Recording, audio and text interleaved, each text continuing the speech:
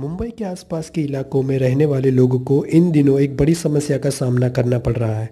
समस्या ये है कि घर का काम करने वाली बाइयाँ या तो आना बंद कर चुकी है या ये कह कर चुकी है कि अब वह उनके घरों में काम करने की स्थिति में नहीं है। दरअसल ऐसा इसलिए हो रहा है क्योंकि इन इलाकों में काम करने वाली बाई बांग्ला बोलती है। उन्हें इस बात का डर सता रहा है कि कहीं बांग्लादेशी मानकर उनको परेशान ना किया जाए।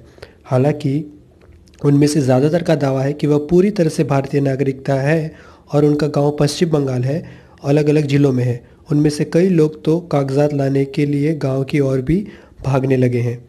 मुंबई के आसपास के इलाकों की बड़ी सोसाइटी में रहने वाले आजकल काफ़ी परेशान हो रहे हैं। इन घरों में काम करने वाली बंगाली मेड काम छोड़कर जा चुकी है। कहा जा रहा है कि वो पश्चिम बंगाल स्थित अपने घरों की ओर कुछ कर गए हैं। मुंबई के खारगर और नवी मुंबई जैसे इलाकों में रहने वाले परिवार को बंगाली भाइयों की जगह कोई दूसरा काम करने वाला नहीं मिल पा रहा है। इलाके में बांग्ला भाषी उन मेड्स की पहचान स्थानीय स्तर पर बांग्लादेशियों के रूप में होती रही है। लेकिन अब जानकारी मिल रही है कि ऐसी कई बंगाली मेड अपने परिवार समेत